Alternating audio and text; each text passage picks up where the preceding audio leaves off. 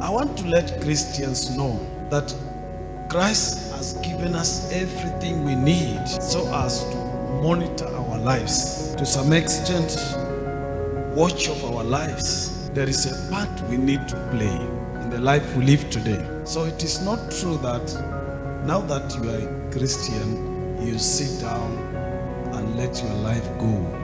God has his part to play, you have your part to play. The life you want to see will be determined by your input. So many of us, we think everything is going to come from God. No.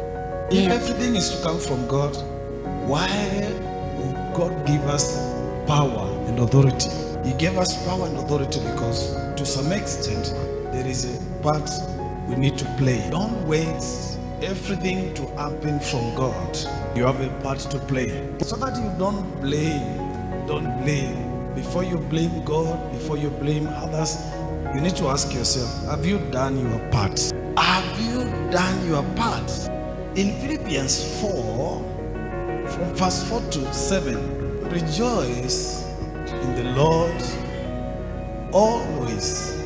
Again, I say rejoice. What is the meaning of that verse? It means we have the ability to control our joy because people will be complaining, I cannot rejoice. I have no time to be happy.